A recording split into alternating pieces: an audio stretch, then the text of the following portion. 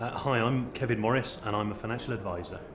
Simon has helped me um, through both Profit Club, um, Growth Club and Sales Enriched.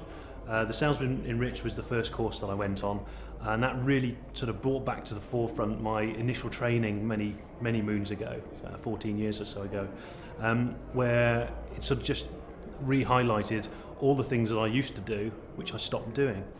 Um, from that, obviously, we've been into Growth Club and Profit Club, where you get to meet a really wide and diverse bunch of people, um, and you pick up some really nice ideas on how to, to I suppose, lift your lift your own business um, and uh, increase future sales. Really, why are Growth and Profit Club valuable? They they help you to just get away from the phone, the email, um, and uh, and just sort of break away and think about your own business for a while. Um, the, the one thing that most people do, and, and I'm certainly guilty of that, is that you, you just become so in, engulfed by what you're doing that, um, that you forget about the fact you're here to be a business. Um, and the areas that benefited most really from, from using Simon and, and his services really has been the fact that my working week now has, has shrunk from 60 hours to probably under 40 now.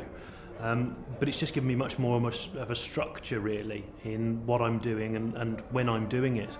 If somebody didn't want to or, or hadn't made their mind up about coaching, and I was one of those, um, I actually met Simon nearly two years ago, and it took three um, sort of three meetings with him um, at various networking events to decide to, to go ahead and, and have some coaching.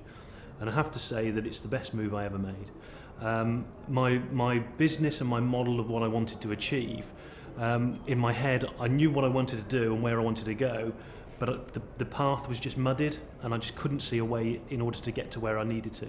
Simon just put the systems in place and my mindset in the right in the right sort of uh, frame, if you like, um, so that um, so I'm now achieving what I want to achieve. Still got a long way to go, but uh, I can see the path and I can see where I need to be. Um, and uh, yeah, things are things are much much better, and the future's looking really bright and, and rosy.